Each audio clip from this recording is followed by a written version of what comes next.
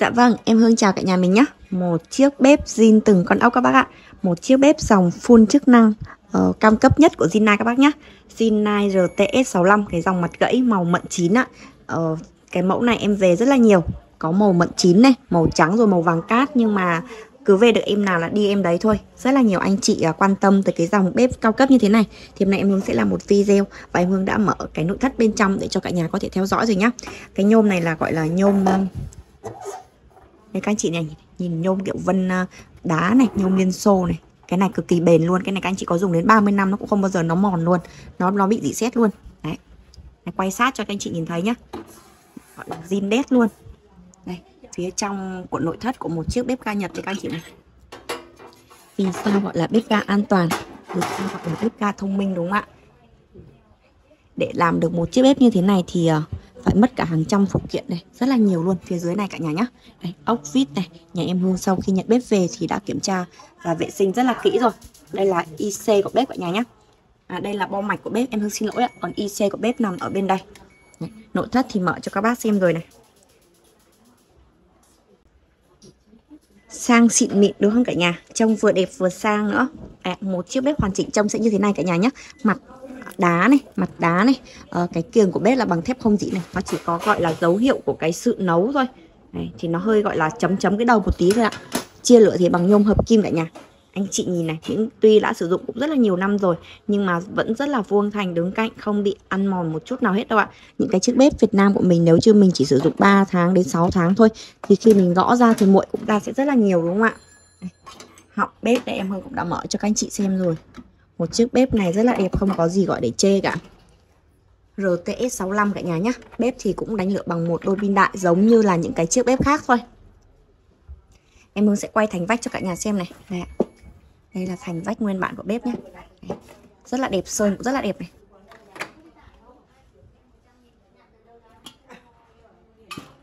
Đây cả nhà nhé Đây, đây là mặt bên uh, phải của bếp.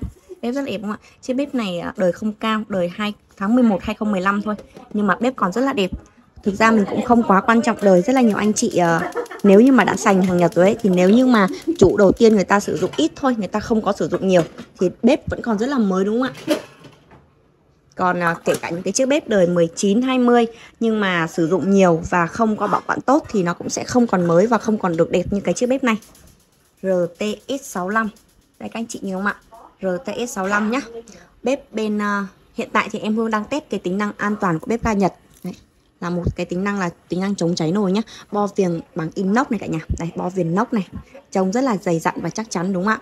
Bếp bên trái thì có các tính năng đó là chế độ nấu cơm ạ. Nấu cơm này cả nhà nhá.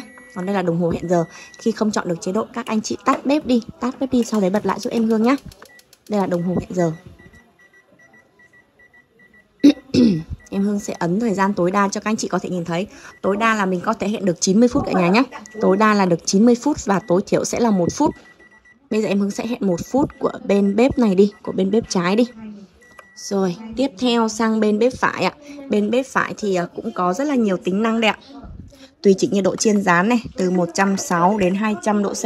À rồi cả nhà ơi, bếp đã khóa ga rồi.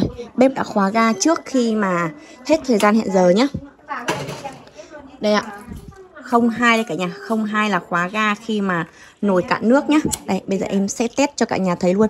Đối với tính năng khóa ga như thế này thì, Tắt bếp như thế này thì bếp sẽ khóa ga luôn ạ. Em sẽ bật lại và sẽ hẹn lại một phút của bên bếp nấu đi ạ. Rồi, tùy chỉnh nhiệt độ chiên rán từ 160 đến 200 độ C. Đấy anh chị thấy đèn sáng ở đâu là là làm. Cái tính năng đấy hoạt động tốt. Rồi bếp bên này cũng báo hiệu 02 rồi khóa ga rồi. Một chiếc bếp cảm biến rất là nhạy đúng không cả nhà? Em mình nấu nướng thì mình chỉ cần uh, nếu như mà không cần dùng đến nhiều tính năng an toàn thì chỉ cần tính năng đó là khóa ga tự động khóa ga khi mà nồi cạn nước. Không may mình kho cá kho thịt mình có quên đi thôi. Đây em sẽ tắt à, bếp đã tắt rồi em sẽ bật lại nhé em sẽ bật lại. Còn bếp bên này thì còn hơn 30 giây nữa thì bếp sẽ khóa ga đây ạ.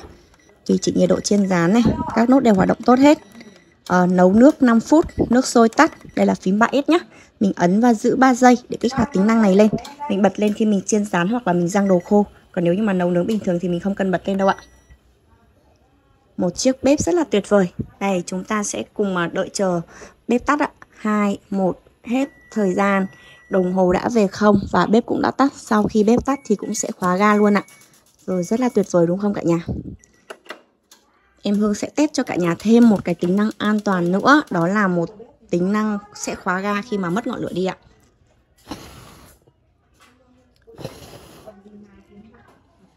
Đối với tính năng là khóa ga khi mà mất ngọn lửa thì bếp mất khoảng tầm 15 giây cả nhà nhé Bếp mất khoảng tầm 15 giây thì bếp mới khóa ga. Các anh chị đợi chờ cùng em Hương thêm một chút xíu. Chúng ta sẽ cùng nhau ngắm nhìn lại cái chiếc bếp xinh đẹp này. Màu sắc vừa sạch, vừa trang nhã, Cũng không quá đen mà cũng không quá sáng. Sự phối màu rất là đẹp. Mặt kính đen kim tuyến Còn thân thì là màu ờ, gọi là đỏ mật đỏ đôi á hai bếp đều đã khóa ga hết rồi các anh chị nhé Đối với tính năng là gió thổi tắt bếp thì sẽ là số 12 Đây bếp bên trái đấy ạ. Còn uh, bếp bên phải thì báo hiệu ở đồng hồ đây ạ Số 12 đây ạ. Video em Hương quay trực tiếp không có cắt ghép nên cả nhà không còn lo đâu. Rồi hai chiếc bếp này đã test xong rồi. Và chúng ta sẽ đi đến cái lò nướng nhá. Đây là khay nướng và vị nướng của bếp đây cả nhà. Đây khay nướng và vị nướng của bếp này. Cái vị nướng này thì có được mạ một lớp chống dính. Đây chỗ này thì cũng có hơi gọi là chóc một tí chóc một tí mạ đây rồi. Này còn dưới cái này là cái khay nhá.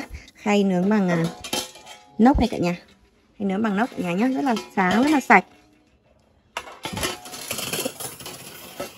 Em Hương có một chút uh, lưu ý nho nhỏ.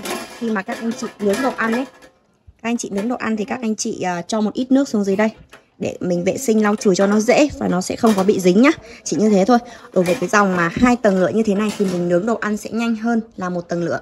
Tình trạng bếp như thế nào thì em Hương cũng sẽ nói rõ ở trên kênh để cho cả nhà có thể uh, tham quan rồi có thể biết được luôn. Đây đây là nướng hai tầng lửa này cả nhà. Rồi ok không ạ. Rất là đẹp. Cái tôn này các bác nhìn này tôn này gọi là sờ rất là sướng tay luôn. Những cái chiếc bếp đẹp như thế này thì thì không cần phải uh, uh, sơn hay là xi gì lại đâu. Nó quá đẹp rồi nên nhà em sẽ để nguyên. Còn những chiếc bếp mà sau khi dọn vệ sinh nó cũng đã sạch rồi nhưng mà nó không có được sáng lắm thì em sẽ làm lại cả nhà nhắc chiếc bếp này thì gọi là nguyên bản. Nguyên bản từng con ốc. Gọi là nguyên bản 100% luôn đấy cả nhà. Đây là đồng hồ hẹn giờ các anh chị nhé Hẹn giờ thì à, chúng ta có thể hẹn tối đa được 15 phút Và tối thiểu sẽ là một phút ạ. Đây, đây là đồng hồ hẹn giờ. Một chiếc bếp cực kỳ tuyệt vời luôn. Đây. Cái này là điều chỉnh à, độ to nhỏ của lửa tầng trên và tầng dưới này. Đây.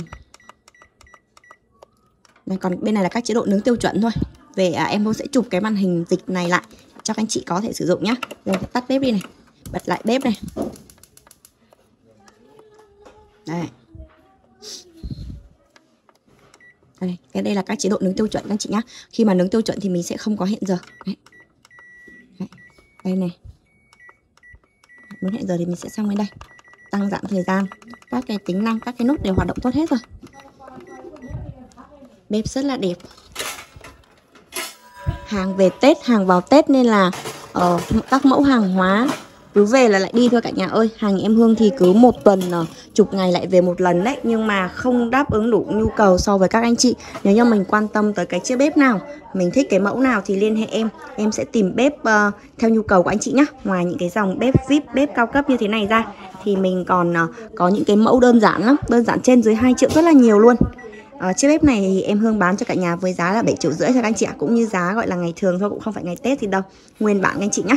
Dạ, mình à, thích cái chiếc bếp này thì liên hệ em Hương theo số điện thoại 0359 014 200 ạ. Nội thất thì cũng đã mở cho các anh chị xem rồi. Các cái tính năng cơ bản của bếp thì cũng đã test cho cả nhà xem luôn. Đấy, Mình thích thì mình gọi em nhá. Đấy, Gọi cho em Hương là sẽ mua được bếp Gọi cho em Hương là sẽ có đơn thôi ạ. Bếp rất là đẹp luôn. Rồi em Hương à, xin à, cảm ơn tất cả mọi người nhé rất là cảm ơn mọi người. À rồi, đồng hồ đã về không? Bếp nướng cũng đã tắt rồi đây cả nhà. Bếp nướng đã tắt rồi đây nhá. Rồi, Trước khi rời kênh thì à, cả nhà ủng hộ em Hương một like và một nút đăng ký kênh cả nhà nhé Xin chào và hẹn gặp lại cả nhà trong video tiếp theo của em Hương ạ.